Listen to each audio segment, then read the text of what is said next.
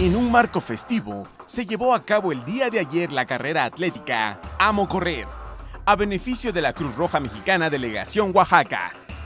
La Fundación Arte y Manos Oaxaqueñas tuvo una extraordinaria respuesta del pueblo oaxaqueño, ya que más de 4.000 personas se congregaron en el Paseo Juárez el Llano, desde las 7 de la mañana, esperando el banderazo de salida para tomar parte de esta carrera de 5 kilómetros de recorrido.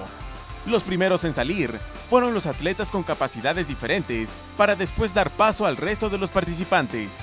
El contingente de corredores era un mosaico multicolor, con atletas, familias enteras, personas de la tercera edad, formaron parte de esta fiesta atlética por una noble causa. Era tal el número de participantes que tardaron alrededor de 10 minutos para que pasara el contingente. El recorrido de esta fiesta fue por Avenida Juárez, incorporándose a la calzada de la República para después tomar rumbo hacia Avenida Universidad, hasta llegar a Rectoría y retornar por la misma vía hasta el Paseo Juárez. El primer corredor en llegar y ganador absoluto de la justa fue Omar Espejel, quien cruzó la meta en 17 minutos y 03 segundos, dejando en segundo lugar a Javier Hernández y Alfredo Regino terminó en tercero. No podía faltar la mejor corredora de medio fondo en los últimos tiempos, Luisa Peña, quien se alzó con la victoria en la rama femenil, seguida de Angélica Valencia y en tercer lugar cruzó la meta Erika Janet Julián Luis. El ganador en silla de ruedas fue René Núñez Flores, el segundo para Reinaldo Hernández y tercero Cornelio Núñez Ordaz. En el femenil ganó Anastasia Pérez y el segundo para Orquídea León Hernández. Al final de la premiación, la presidenta de la Fundación Arte y Manos Oaxaqueñas, en entrevista para MBM Deportes, agradeció a todos los participantes. Asimismo, resaltó la labor de la fundación que encabeza. Es un gran evento, una gran convocatoria. No tengo palabras para agradecer a todas las personas que hoy nos acompañaron para este bello evento de la, para apoyar a la Cruz Roja de Oaxaca.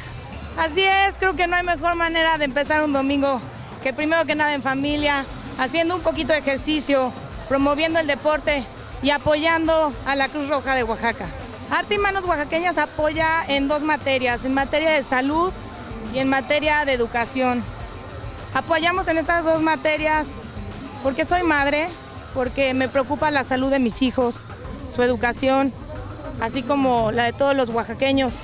Y creo que sumando esfuerzos y buenas voluntades y trabajando con mucho amor, hemos dado muchos resultados. Eh, eventos siguientes, vamos a inaugurar la tienda de amor. Eh, nosotros apoyamos a los artesanos, a esas manos maravillosas, a ese patrimonio oaxaqueño. Eh, vamos a abrir la tienda para ellos, para generar empleo y a través de la venta de sus productos poder la redituar a nuestras comunidades. otra carrera para que se preparen, sigue Salina Cruz, Cruz Roja de Salina Cruz, ya también vamos para allá. Eh, estamos por cerrar un convenio también con una fundación que se llama Operación Sonrisas. Si Dios quiere, para enero vamos a poder operar a 200 niños de labio leporino y paladar hendido. Muchas cosas por hacer, trabajamos con mucho amor y con el corazón.